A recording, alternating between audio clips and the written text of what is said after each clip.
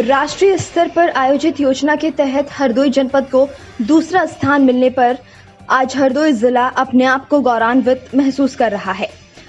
ज़िले को ये उपलब्धि केंद्र सरकार द्वारा संचालित पूरे भारत देश में गरीब कल्याण रोज़गार अभियान के तहत सामुदायिक शौचालय निर्माण में प्राप्त हुई है।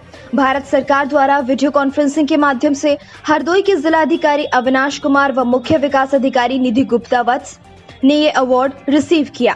इसी उपलब्धि के तहत हरदोई के सदर सांसद जयप्रकाश रावत ने पैच इसी उपलब्धि के तहत हरदोई के सदर सांसद जयप्रकाश रावत ने अहिरोरी विकास खंड के कराही गाँव में एक सामुदायिक शौचालय का उद्घाटन किया।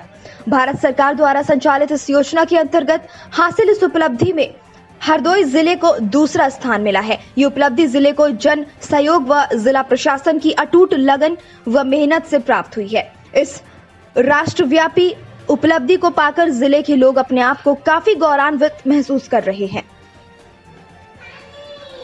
हरदोई से संतोष प्रजापति की रिपोर्ट। भारत सरकार द्वारा प्रधानमंत्री गरीब कल्याण योजना के अंतर्गत सामुदायिक शौचालय कॉम्प्लेक्स बनाए जाने का लक्ष्य प्राप्त हुआ था, जो 15 जून से लेकर के 15 सितंबर तक ये अभियान के अंतर्गत चलाया गया। इसमें जनपद हरदोई को राष्ट्रीय स्तर पर दूसरा स्थान प्राप्त हुआ।